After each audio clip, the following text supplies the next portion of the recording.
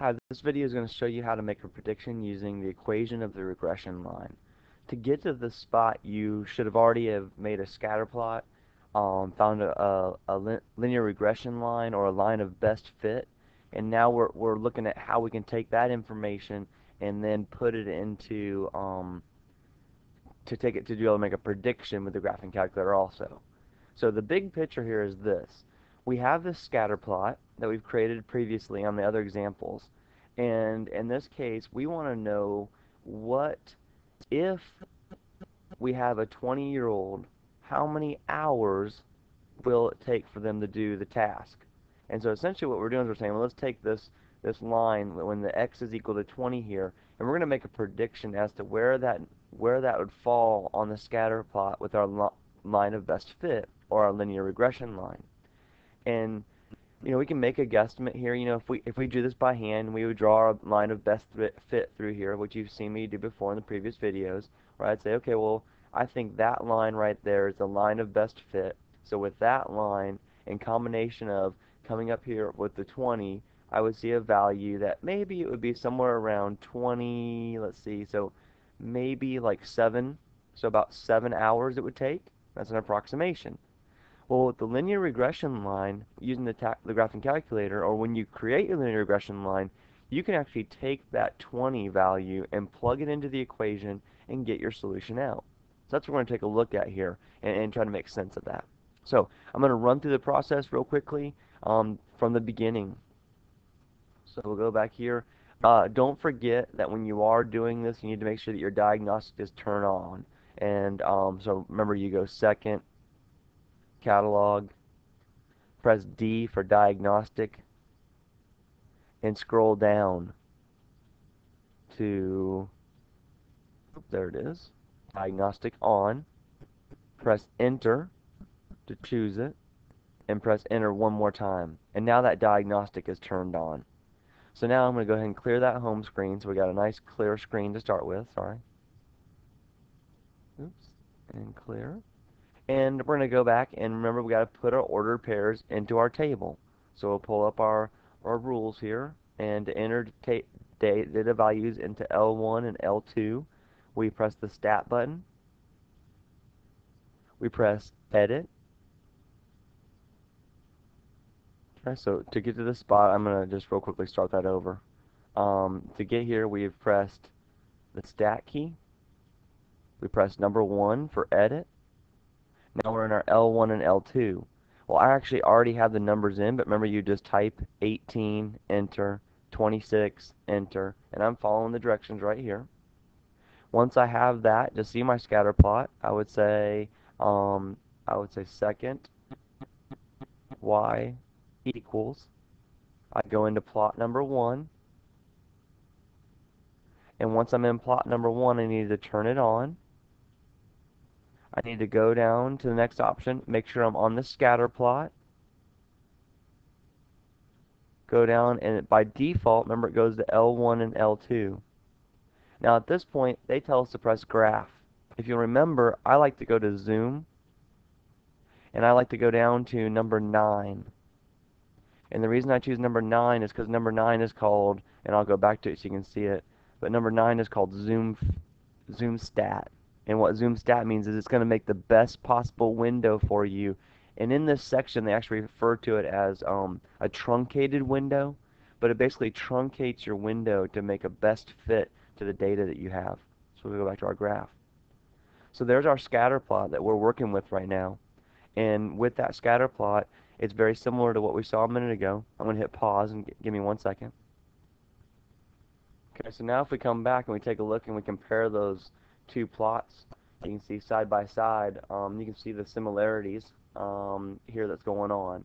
You know once again if I had that line of fit uh, of best fit or, or um, excuse me if I had the line of best fit or my linear regression line on here then you know it would kind of pass somewhere through the middle. So let's go ahead and get that line.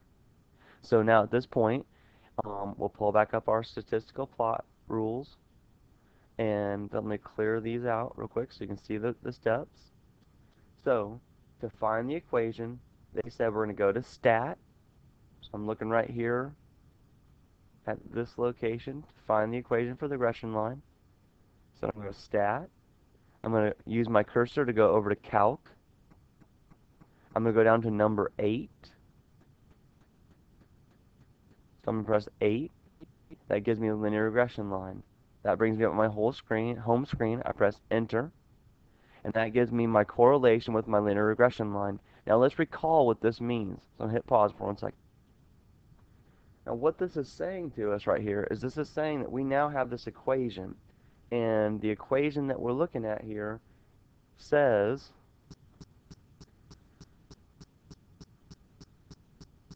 the equation that we have here is basically stating that using this formula y equals a plus b times x where a is our y-intercept and b is our slope that what we have is we now have an equation we can say an equation a linear regression equation where we have let's just call it 10.5 plus a negative point, let's call it 1 8 times x. So we have something that crosses the y-axis at 10.5. So here's the y-axis. Let's say 1, 2, 3, 4, 5, 6, 7, 8, 9, 10. So it's going to cross the y-axis somewhere about right there. It has a slope of negative 0.18. And so let's just take real quickly our calculator and see what negative 1.8 looks like.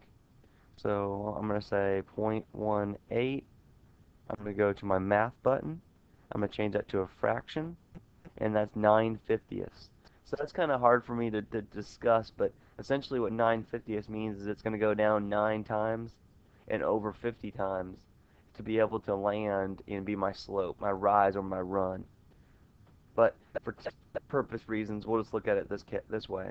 So back to what we're actually doing here is that we're taking this equation right here and we're going to make a prediction with it. So by hand, I would take that equation at this point and I would come here to my question and my question was now I have this linear regression line and I want to find out um, I have this linear regression equation and I want to find out what would happen for a 20 year old so I have y equals 10.5 plus point was it 1 8 x? So now I want you to evaluate this when x equals 20 so 20 years. So when I do that what happens is is I'm going to take I'm going to plug that in by hand. Y equals 10.5 plus 0.18 times 20 so I can come to my calculator and and I come over here and I say 0.18 times 20 equals plus 10.5 and it gives me 14.1. So now if I come back to my graph and I say okay well I plugged in my 20 and I come up here and it says 14.1 which will be up here which is rather interesting um, because that seems like it's a little bit high. Did I do something wrong? No. So that would be by hand. So let's take a look and see what would happen if we did it with our graphing calculator. So this is the actual piece. I'm to the final piece of the video. This is the last part. So to do this to your graphing calculator, bring this information up right here. Move this over, clear this out. Let's go back to our graph. And let's bring our regression line up first. So bring the regression line up. Um, remember, we've got to make sure that, first of all, we have our y equals screen clear. So we press the y equals button. I'm looking at these directions down here. Make sure your y equals button is clear. Go to your vars button, which is found in the middle of your keyboard. And we're going to choose number 5, statistics. Once you're into this screen, you will arrow over. Please pay attention to the keystrokes right here if you're having troubles following. You're going to arrow over to equation, and then we choose number 1, regular equation. That then takes that equation that I used a minute ago that I showed you, I pulled up, and it actually puts it in the y equals screen. So now when I hit graph, not only do I get my scatter plot, but I also get my linear regression line plotted on top of my scatter plot. So let's take that for a moment. Excuse me, I'll be right back. So here we have our, our, our plot pulled with the line on there. Looks very, very similar to what we had previously. You know, this, the settings are a little bit different, but we got the idea. Um, we're going to come on back to our graphing calculator here, and we're going to go ahead and finish this up. So now the key step here is that to be able to calculate that predicted value, right here above the trace key, you'll see it says calculate in blue. So we're going to hit the second key first. We're going to hit the calc or the trace button. We're going to calculate a value, so we choose number 1. And now it says, what x value do you want to calculate for? Well, our x we wanted to calculate for was 20. So we press 20, and we press enter. And it actually plots the order pair for us. Uh, I did make a mistake on my calculation earlier, excuse me. I'll go back and show you in just a moment. So it actually plots the calculation for us, and we can see on the graph where that prediction would occur. So let's go ahead and take a picture of that guy. Excuse me. And so now if you look at this picture, you'll see that right here, we can see on the graph where the prediction would occur. So that if I plugged in x equals 20, I would get out a y value of 0.6899. My mistake I made earlier, everybody, was I forgot this was negative 0.18. So when you multiply that out, um, I'll go back to the calculator and show you so I don't seem like a goofball. I take 0.1, oops, I take 0.1, 0.18, multiply it times 20, add 10.5, and I get my 4. I did the same thing. Point, excuse me, negative 0.18 times my 20 plus 10.5, and there we go, 6.9. Alright, sorry about that. Um, so what this does, let's wrap this up. This actually comes to us and shows us that we can make a prediction anywhere on this graph. This is what's going to happen on the homework problems is that they're going to give you the same exact problems that you saw from homework 10.2 and you're going to take those same problems and now you're going to make predictions.